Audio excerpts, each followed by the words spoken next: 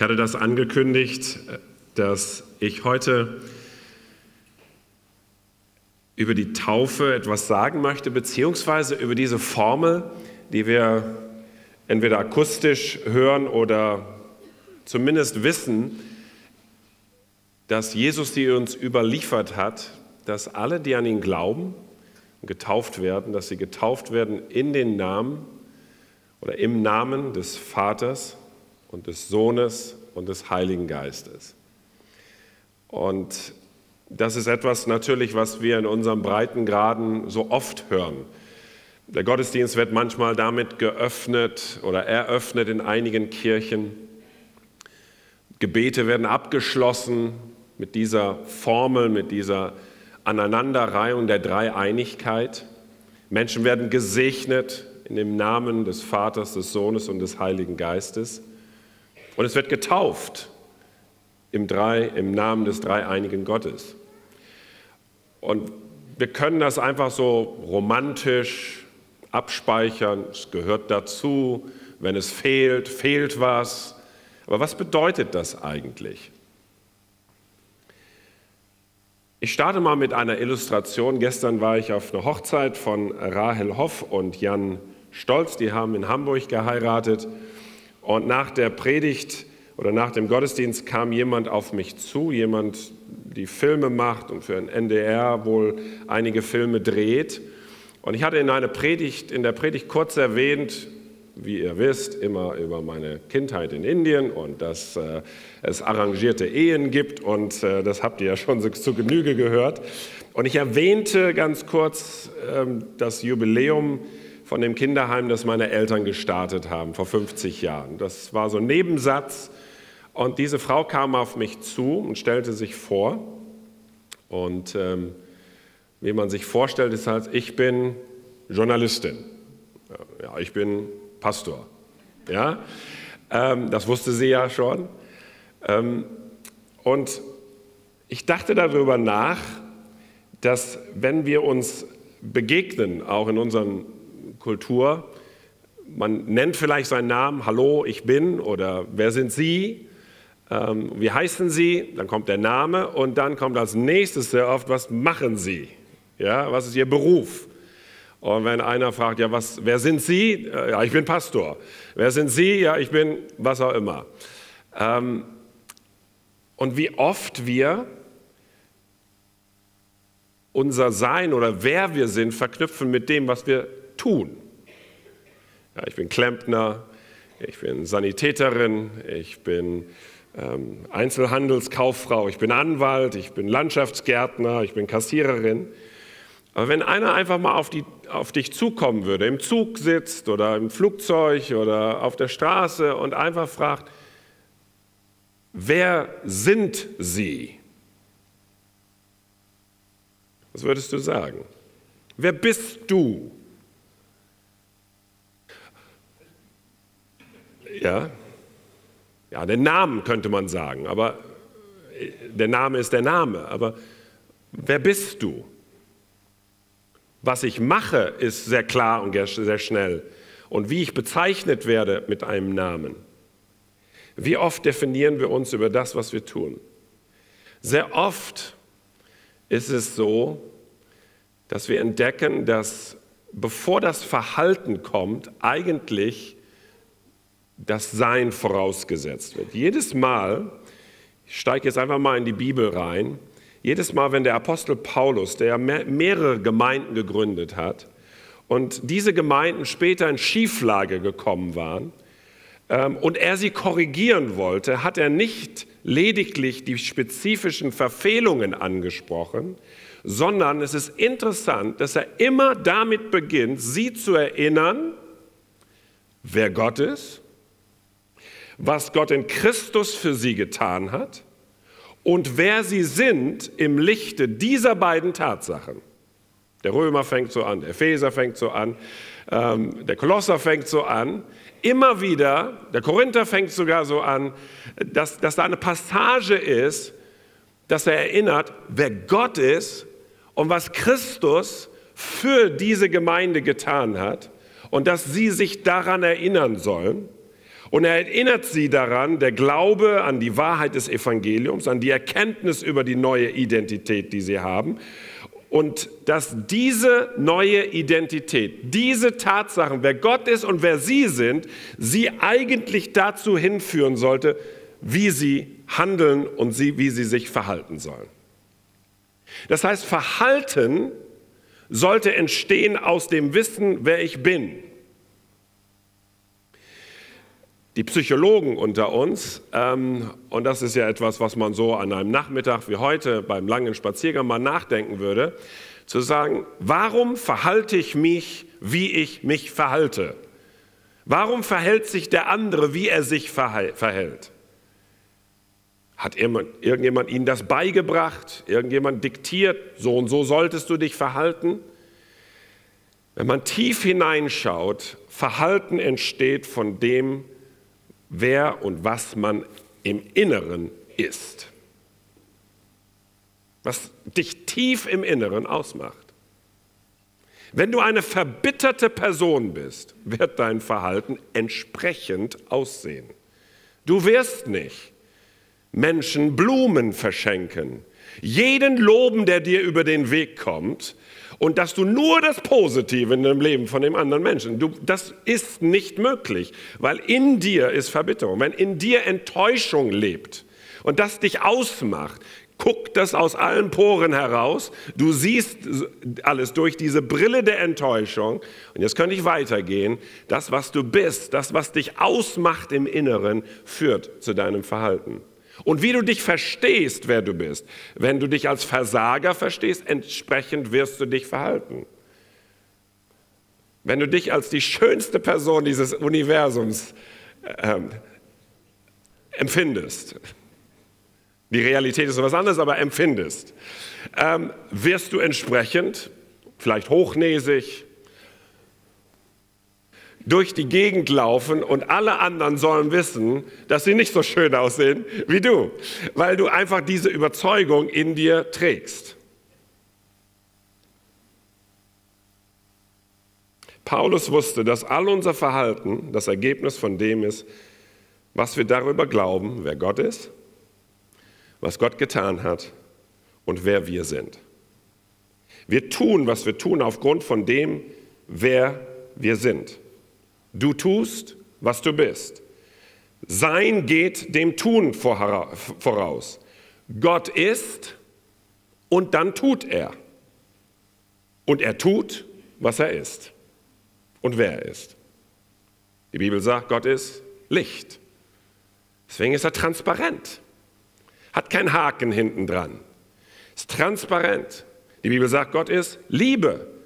Und alles, was er tut, geschieht aus Liebe. Gott ist gut und alle guten Gaben stammen von ihm. Das könnte ich weitergehen. Sein Verhalten ist einfach eine Widerspiegelung von dem, wer er ist und was er ist. Im Garten Eden sehen wir das sehr, sehr gut illustriert. Ganz am Anfang hat Gott diese Welt geschaffen. Und die Abfolge ist so. Gott ist Schöpfer, also wer er ist. Er hat geschaffen, das ist das, was er tat. Und wir sind Ebenbilder von nicht sich, sondern von ihm. Das sind, wer wir sind. Und wir sind wiederum gerufen, zu gestalten in seinem Sinne auf dieser Erde. So schuf Gott Mann und Frau, in seinem Ebenbild schuf er sie. Und er gab ihnen die Herrschaft über diese Erde und sagt, geht multipliziert euch und herrscht über diese Erde, gestaltet mit mir als Co-Schöpfer auf dieser Erde. Gott ist Schöpfer, er tut. Wir sind aufgrund von dem, was er in uns geschaffen hat, und wir tun. Sein geht also dem Verhalten voran und Identität vor dem Tun. Das hört sich jetzt ein bisschen so soziologisch, psychologisch, philosophisch an. Es ist interessant zu beobachten, dass in diesem wunderschönen ja, Beginn des Lebens und unseres Universums Misstrauen hineingekommen ist in unser Herz. will die Geschichte nicht ausführen, aber was dieses Misstrauen bewirkt hat, hat alles auf den Kopf gestellt. Offenheit und Transparenz führte zu einem Versteckspiel und Scham. Nähe und Vertrautheit zwischen Gott und Mensch und zwischen, unter den Menschen führte zu Distanz und zu Masken, zu einer Bedeckung von dem, wer man ist. Liebe und Fürsorge führte zu Eifersucht, zu Neid und zu Aggression. Und Selbstlosigkeit und Gemeinschaft führte zu Egoismus und Isolation. Wer sie am Anfang waren, weil Gott sie geschaffen hat, ihre Identität war Transparenz. Liebe, Vertrautheit. Und so lebten sie, bis etwas anderes reinkam, dieses Misstrauen. Und das führte wiederum zu einem zerstörten Verständnis ihrer Identität. Da zerbrach etwas im Inneren und entsprechend entstanden diese anderen Verhaltensweisen. Und das ist mittlerweile zu unserer Identität geworden. Der Mensch hat diese Identität, weil er infiziert worden ist mit diesem Virus. Und der Apostel Paulus beschreibt tatsächlich dieses Spannungsfeld in Römer Kapitel 7, Vers 18 bis 25. Ich weiß wohl, dass in mir nichts Gutes wohnt. Zwar habe ich durchaus den Wunsch, das Gute zu tun, aber es fehlt mir die Kraft dazu.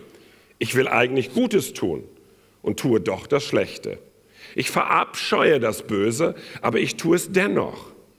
Wenn ich also immer wieder gegen meine Absicht handle, dann ist klar, nicht ich selbst bin es, der über mich bestimmt, sondern die in mir wohnende Sünde, sprich diese zerstörte Identität.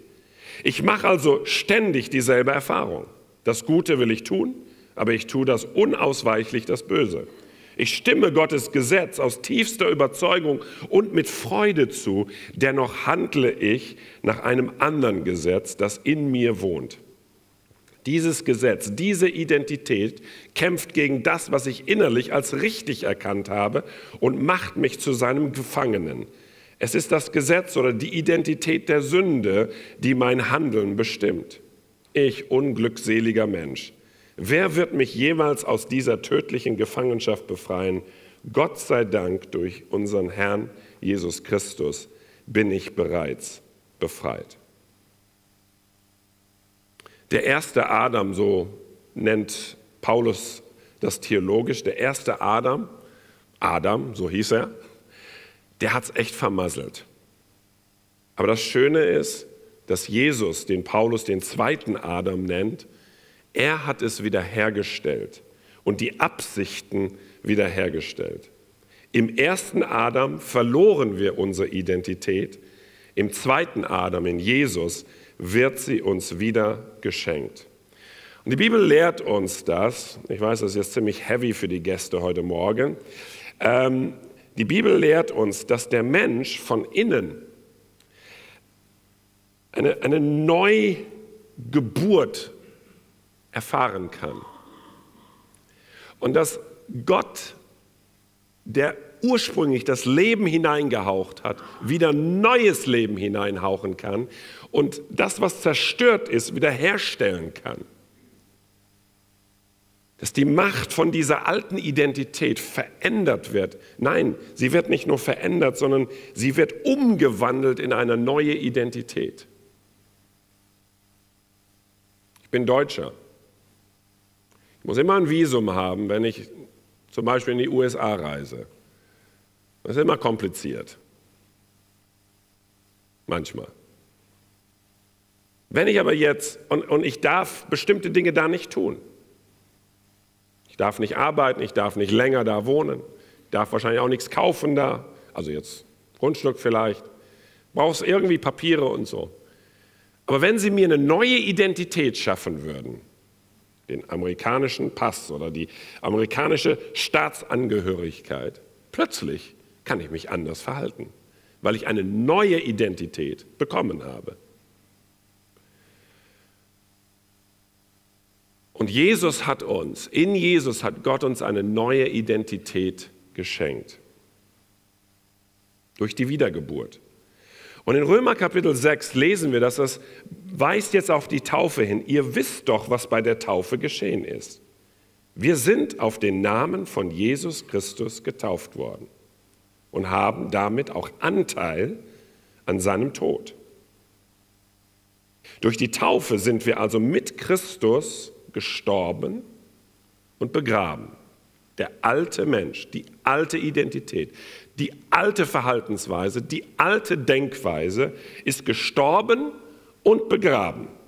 Und wie Christus durch die Herrlichkeit und die Macht seines Vaters von den Toten auferweckt wurde, so haben auch wir ein neues Leben empfangen und sollen nun so handeln, wie es diesem neuen Leben entspricht.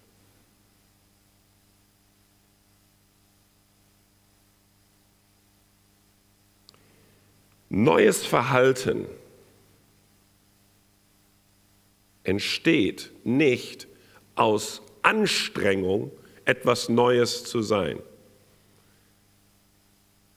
In dem Beispiel der Staatsangehörigkeit, wenn ich in die USA dann gehe, kann ich einreisen ohne Angst, dass ich zurückgeschickt werde, dass irgendein Computer mich da raussucht, sondern ich darf da rein und ich darf eine, einen Job nehmen, ich darf dort arbeiten, ich darf lange dort leben. Mein Verhalten entsteht aus meinem Verständnis von meiner Identität. Wenn ich aber immer noch denken oh, ich bin Deutscher, oh, ich darf hier gar nicht arbeiten, und ich streng mich an, vielleicht nett zu sein, dass sie mich reinlassen. Und ich ver vergesse, dass ich die Identität habe, dort zu leben und mich frei entfalten kann. Dann kann ich mich anstrengen, aber ich muss doch verstehen, wer ich bin. In Jesus Christus ist etwas ganz Neues entstanden hier. Und die Identität ist, dass der alte Mensch gestorben ist. Und Paulus geht sogar so weit, dass er sagt, so haltet euch nun täglich für gestorben. Das heißt, der alte Olaf, obwohl er ein netter Mensch ist, der alte Olaf, der neidisch ist und vielleicht eifersüchtig ist und aufbrausend ist und, und, und, und hinterm Rücken redet und manches andere tut, in Christus, wenn er verstanden hat, dass er in Christus eine neue ähm, Person ist, eine neue Identität ist, hält sich für gestorben. Ein, eine Leiche, ein, ein, eine gestorbene Person kann nicht neidisch werden, auch wenn ein ich ihn versuchen würde, da neidisch zu werden, weil ich schöner aussehe als vielleicht er oder so. Oder dass ich ihn verführen könnte, irgendwas zu tun, was, was er früher immer gerne getan hat über Leute zu lästern. Er lästert nicht, weil er gestorben ist. Er hält sich für gestorben und sagt, nee, der alte Olaf ist nicht mehr. Er wird nicht mehr lästern. Er wird nicht mehr neidisch sein. Er wird nicht mehr auf eifersüchtig sein. Er wird nicht mehr aggressiv sein, weil er schon gestorben ist. Aber das ist nur die eine Hälfte. Die andere Hälfte, aber jetzt zu erkennen, der Christus, der jetzt in mir lebt, der neue Mensch, die Wesenszüge von, von Gottes Wesen, von, von Christus, leben jetzt in mir. Und sie sind hineingepflanzt worden durch seinen guten Geist. Und aus dieser Überzeugung darf ich stehen und sagen, ich habe es nicht nötig, eifersüchtig zu sein, sondern es geht mir gut und ich ruhe in mir selber. Ich weiß, es ist sehr verkürzt. Aber was ist der Gedanke von Identität? Jeder von euch, der einmal im Wasser getauft worden ist, hat eine neue Identität bekommen. Das sagt uns der Paulus. Und jetzt ist die Frage, wie lebst du, weil du getauft worden bist? Denn wir taufen euch in dem Namen des Vaters und des Sohnes und des Heiligen Geistes. Das ist der Befehl, den Jesus gegeben hat. So geht nun hin und macht alle Nationen zu Jüngern und tauft sie auf den Namen des Vaters, des Sohnes und des Heiligen Geistes und lehrt sie alles zu bewahren, was ich euch geboten habe. Jesus möchte, dass wir wissen, wer wir sind und zu wem wir gehören. Jesus möchte, dass wir wissen, was unsere Identität ist. Er möchte, dass uns bewusst ist, welche Kraft uns geschenkt worden ist. Und wisst ihr, das Schöne ist, als Jesus getauft wurde, er hat sich ja taufen lassen, ist schon das große Vorbild eigentlich schon, obwohl eigentlich er es gar nicht nötig hätte. Alle kamen zu Johannes und wollten sich taufen lassen, weil sie gesündigt haben und Buße getan haben. Und dann kam Jesus zu Johannes und sagt, ähm, ich möchte getauft werden. Johannes sagt, nein, äh, nicht ich müsste dich taufen, sondern du müsstest mich taufen. Gute Logik. Aber er sagt, nein, lass es so sein, damit alle Gerechtigkeit erfüllt wird und lebte schon etwas vor ihm voraus, was wir im Nachhinein auch letztendlich symbolisieren. Dass er gestorben ist, begraben wurde und auferstanden ist.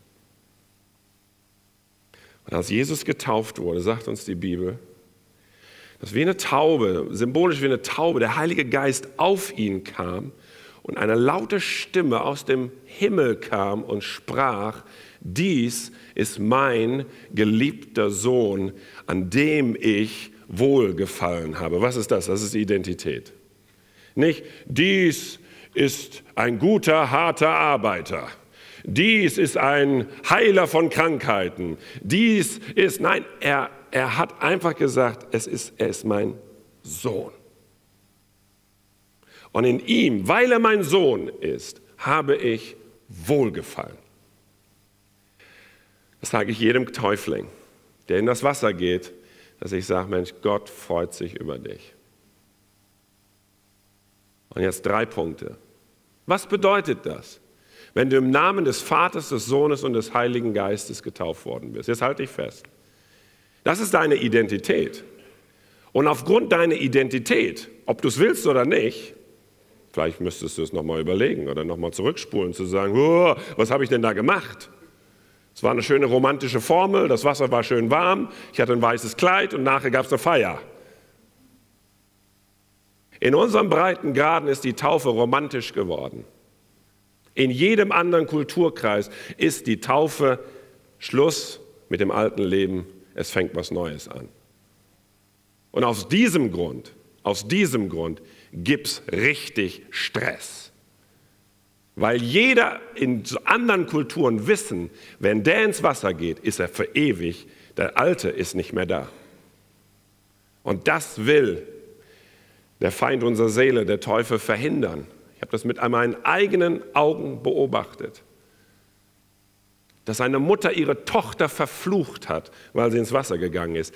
Die Bibel sagt, wir kämpfen nicht gegen Fleisch und Blut. Das sind nicht Worte eines, einer Mutter, die das sagen. Es ist eine Überzeugung, die sagt, dieser Mensch, diese Tochter, die jetzt zu Christus gehört, gehört nicht mehr zum alten Leben, wie ich sie haben möchte. Das ist eine Beerdigung. Und letztendlich ist es aufgrund dieser Überzeugung, sagt Paulus, aufgrund der Tatsache, dass ihr getauft worden seid, lebt nun in einer neuen Identität. Was ist die Identität? Wir schauen uns das mal an. Wir sind Familie des Vaters. Und deswegen lieben wir andere, wie er uns geliebt hat. Wir werden im Namen des Vaters getauft. Und die Bibel sagt, dass der Vater der Vater einer Familie ist. Nicht nur dein Vater, so nach dem Motto ich und der Vater. Und ich möchte keine anderen Geschwister. Auch wenn sie da sind, möchte ich nichts mit ihnen zu tun haben. Tut mir leid. Ich sage es meinen Töchtern, ich sage, euer Problem, dass ihr einander habt.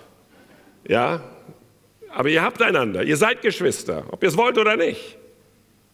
Das Schöne ist, dass sie sich auch lieben und unterstützen und äh, Klamotten ausleihen und sich gegenseitig schminken und alles drum und dran und so. Das ist Familie.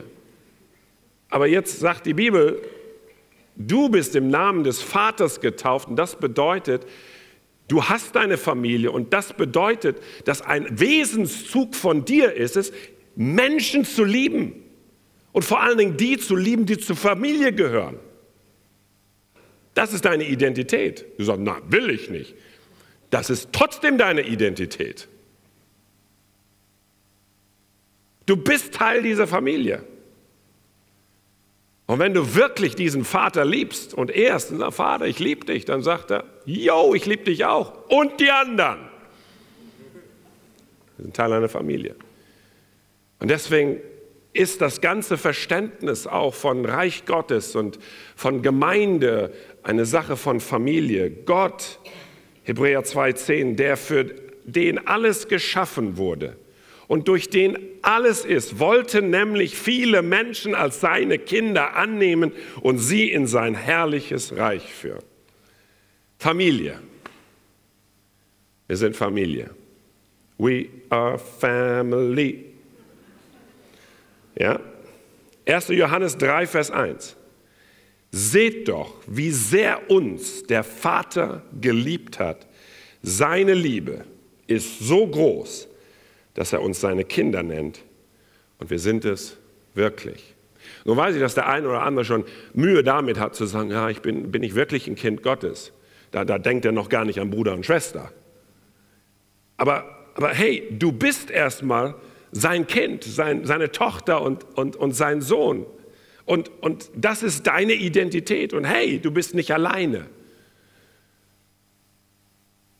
Und deswegen werde ich dich immer daran erinnern, dass du Teil einer Familie bist, weil du getauft worden bist im Namen des Vaters von allen. Du bist getauft in dem Namen Jesu. Wer war Jesus? Und was hat es mit uns zu tun? Nummer zwei, wir sind Diener von Jesus seines Sohnes. Deswegen dienen wir wie er uns gedient hat. Du sagst, oh, das habe ich gar nicht erwartet. Wisst ihr, dass Jesus König ist? Haben wir vor ein paar Wochen gelernt. Jesus ist Herr, er ist König. Er beansprucht Herrschaft, liebende Herrschaft, gütige Herrschaft über alle Bereiche deines Lebens, meines Lebens. Er ist König.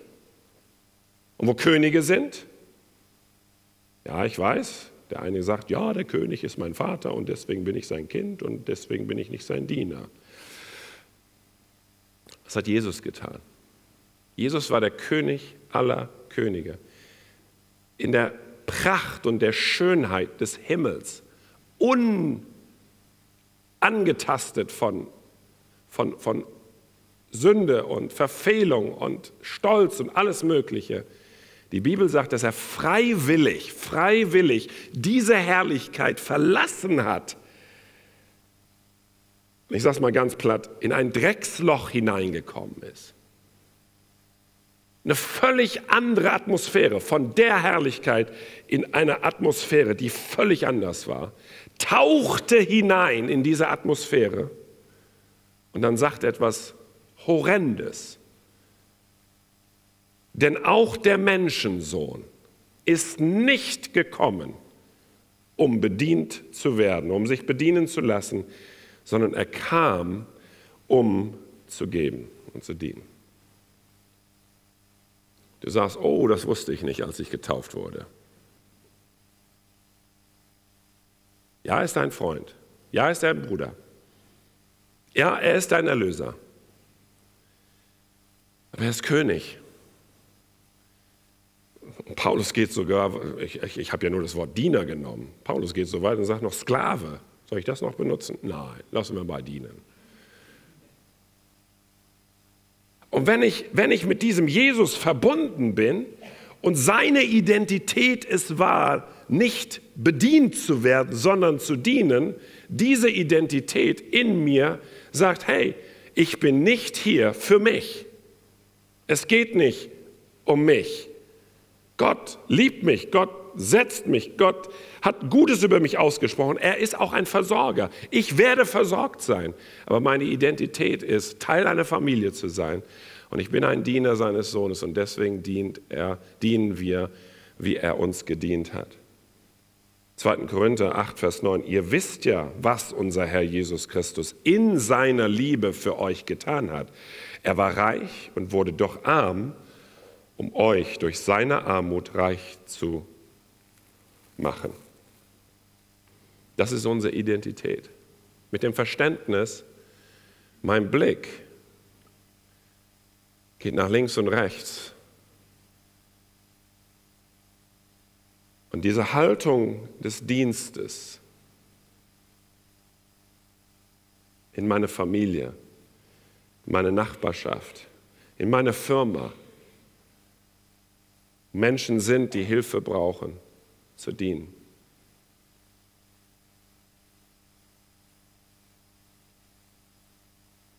Im Namen des Vaters, im Namen des Sohnes und im Namen des Heiligen Geistes. Ich weiß, ihr seid ganz zurückhaltend gerade jetzt, mit Überzeugung das auszusprechen. Was bedeutet das? Drittens, wir sind Missionare, erfüllt und ausgerüstet mit Kraft durch denselben Geist, der in Christus war. Und deshalb sind wir auf seine Mission, das Evangelium seines Reiches zu verkündigen.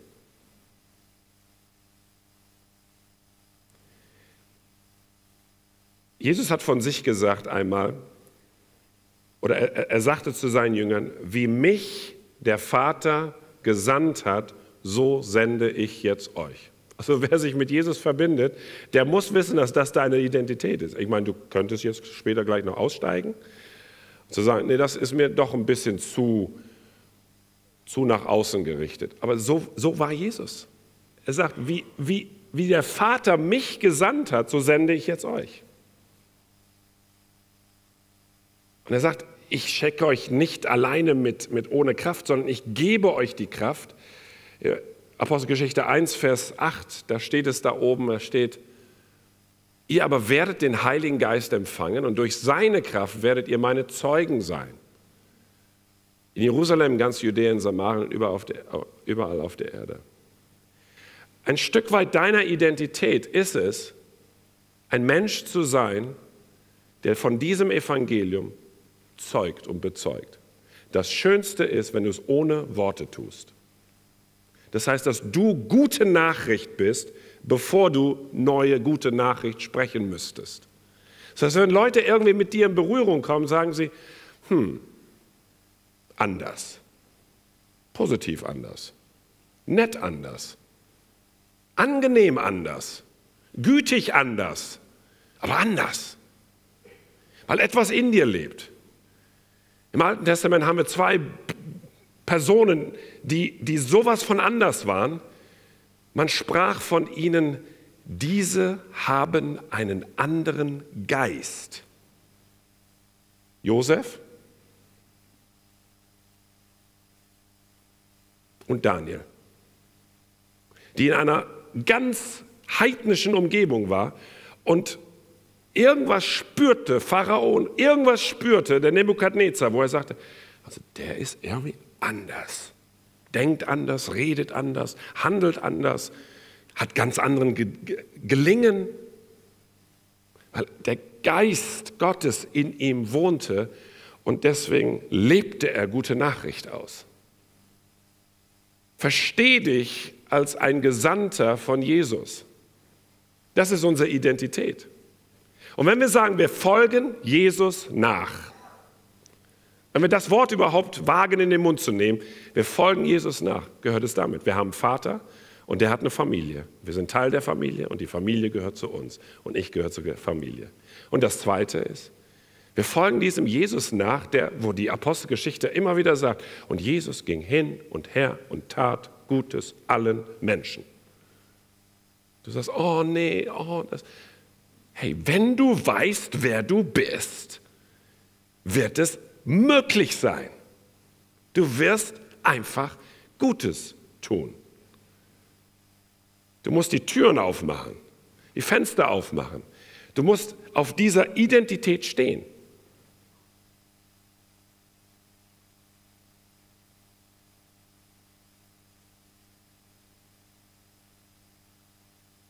Wer bist du?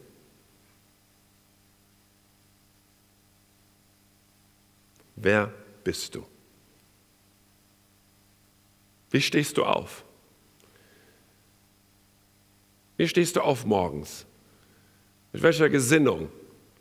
Die Welt ist dein Feind und du musst ihn überwinden. Alle wollen was von mir.